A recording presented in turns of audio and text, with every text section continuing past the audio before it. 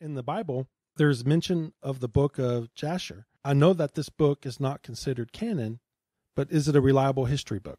Well, I, I'm going to say no because I think what the questioner is thinking about when we think of the book of Jasher is one thing as opposed to the Old Testament allusions to a book of Jasher. I think th- I think these are two different things. So there apparently was a book of Jasher uh, at one time. Now there are again alternative ways to take that word and that phrase in the Hebrew that actually have you coming out that there really wasn't a book as a source. It's something different, but I'm going to set that aside for now.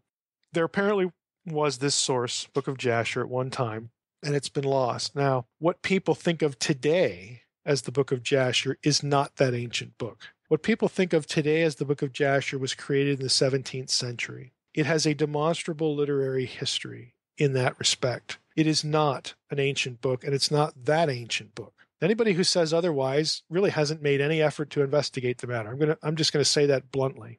If, if they have, then they're hiding the information from themselves or somebody else. Okay. Now, if you go to my website, I actually blogged recently about this. Go to drmsh.com and in the search field at the top, type Jasher, J A S H E R.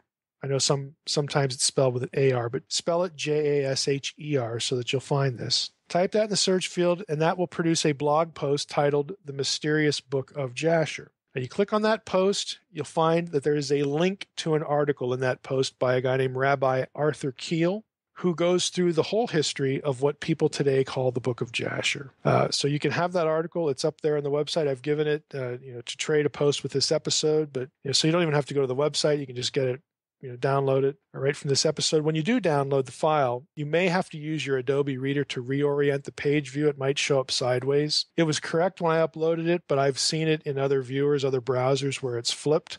So just download it to your hard drive and open it in adobe reader and then you can you can flip it if it's not viewing correctly. But that it, it's a re, it's not a terribly long article but it's pretty detailed about the history of this book that we call the book of jasher today. So since that's really what we're talking about here? No, it's not a reliable history book. It's something invented in the 17th century.